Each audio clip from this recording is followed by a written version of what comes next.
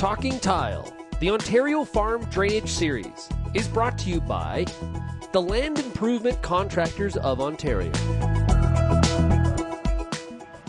Hi, I'm Bernard Tobin. Welcome to Talking Tile, a new video series here on Real Agriculture. Over the months ahead, we're going to be talking to a host of guests who are going to tackle a range of drainage topics. From how farmers can maintain their drainage systems to how drainage impacts the environment, there's a lot of ground to cover. On this episode, we're joined by drainage contractor Matt Williams and agronomist Peter Johnson.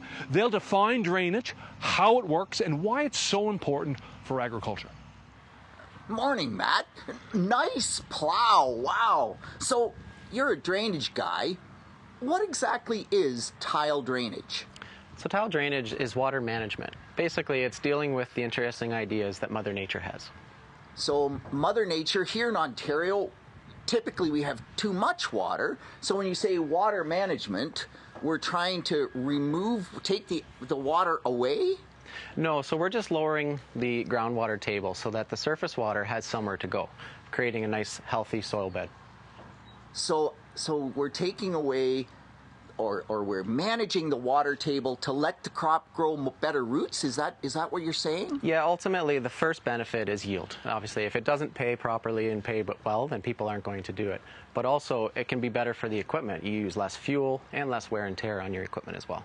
So we're trying to improve soil health as well as increase yields. And the other thing that you're really trying to do for farmers like me is get keep us from getting stuck because man getting mired in the mud is just brutal right? absolutely. And erosion is also a big part of it as well. By allowing that ground to act like a sponge it gives the water somewhere to go before it turns into runoff water. So the managing the water table gives us the sponge so that when it rains there's some dry soil there to to absorb the water, hold the water, and not have it run off the surface and take all the topsoil with it through erosion. Absolutely. Yeah, that's one of the biggest benefits, especially now with the environmental impact that is on everybody's radar. Okay, but wait a minute. So we're taking all this water away. Isn't that going to dry up the groundwater, dry up my well? Like uh, that water's not there anymore. Definitely not. So essentially, our drainage system, we're aiming for between that two to three and a half foot depth, um, depending on the soil type. So essentially, we're just lowering the water table to that point, not below that. It's just taking it once it gets to there and then removing it. So we're taking two and a half to three feet, and we're we're draining that so that we manage the water table, but the water always comes into the tile from the bottom, right? Exactly. And the best part about that, I feel, is that that's clean groundwater coming up. So essentially, that should be the clean groundwater you see coming out the outlet pipe. So that the water on top, which can include all your fertilizers and everything else for farming practice, can be absorbed through the soil. So the soil is essentially acting like a filter. So we filter that water, and if it rains and my my water table's at five feet, say, that rain is actually going to go past the tile, which is really amazing that it goes right past that plastic tile in the, in the field and down to the five foot level, and until it fills that soil surface or that soil reservoir up to that tile level, we're not actually moving that water out, right? That's right. Very similar to the concepts of a septic system, except in a little bit reverse manner. Yeah, wow. So we're improving soil health because that soil has more air in it. We're getting better roots. We're getting better yields, 30% higher yields often. So there's a whole lot of, of really positive things. So give me the nuts and bolts then, then Matt, please. You're putting this plastic tile in in the field but how far apart how do we get the water away from the field once it's in that plastic tile what what's the nuts and bolts of tile drainage yeah, so everybody understands the grid pattern idea. So most of the systems we install, like I said, are between the two to three and a half foot depth. Also, the spacing can vary from 15 feet all the way to 40 foot spacing, sometimes even more. That's generally dependent upon the soil type as well as the budget, and also the type of the type of crops grown in farming practice. Um, when I say about the budget, what's interesting is that if you want to spread them farther apart to cover more area and then design the mains accordingly, then you can come back and split those systems very efficiently down the road wait a minute, okay, so splitting tile, I, I, mean, you just described that well, the main size, but but I just went through on my own farm and split my tile. But if my main wasn't big enough, you mean that wouldn't help me at all? No, then you're going to end up overloading the mains that you have in place. Now, that can be resurrected by putting a new main on the backside and intercepting it in a few spots to help relieve it. But what you're saying is that the main is really the control gate in terms of how much water comes off that field in, eh, at, at any particular point in time. So, so cool. The main's the the driver, but how much water then do we try to take away? So the way we size our mains is based on three main factors. There's the grade, the acreage that's going into the main, as well as the drainage coefficient. Okay, so what's drainage coefficient? Drainage coefficient is the amount of rainwater that a parcel of land can take in 24 hours. So the most common for us as contractors is between half and three quarter inch, sometimes into the one inch era. Um, the reason that we designed to this is that for one cost, the bigger the drainage coefficient, the more the cost of the system. But also you have to keep in mind your outlet because if your outlet is not designed to take beyond one inch of drainage coefficient, then all you're doing is creating a problem at your outlet and adding to the problem of infrastructure downstream. Yeah, so outlet's important, size of the main is important, and, and when you say a half inch drainage coefficient, that's a half inch of water in a 24 hour period?